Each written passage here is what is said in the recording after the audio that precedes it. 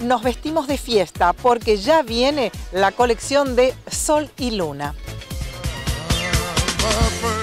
En la cuenta regresiva de las recepciones universitarias y cenas de egresadas, la propuesta de Sol y Luna pone en primer plano cuatro opciones muy elegantes que priorizan la femineidad de la mujer. En imágenes, Verónica Bregains luciendo un conjunto que mixtura blancos y negros, una combinación que nunca falla crop top de encaje guipure y pollera con tablas en textura de red con importantes bordados de pasamanería al tono y ruedo armado.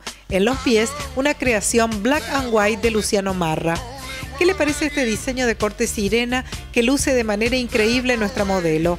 La falda muy sexy exhibe un tajo atrevido, en tanto el bustier de tul con nude a contratono ofrece ramilletes con bordados de paillettes blancos. Se lucen en los pies estiletos clásicos. El coral es una de las tonalidades que es tendencia en este tiempo de recepciones y fiesta. Gasa cortada en doble capa para la falda larga de excelente caída al andar. El bustier con transparencias acompaña las noches de verano se sugieren para los pies estas sandalias bohemias. En la vista final, nuestra modelo, peinada y maquillada por el staff del Centro Integral de Belleza María Ide, a quien agradecemos, desfila un vestido que combina capas de tul blanco y bordados a contratono de pasamanería, piedras facetadas y cristal de roca. Se lucen en los pies estiletos boca de pez con tacos intervenidos.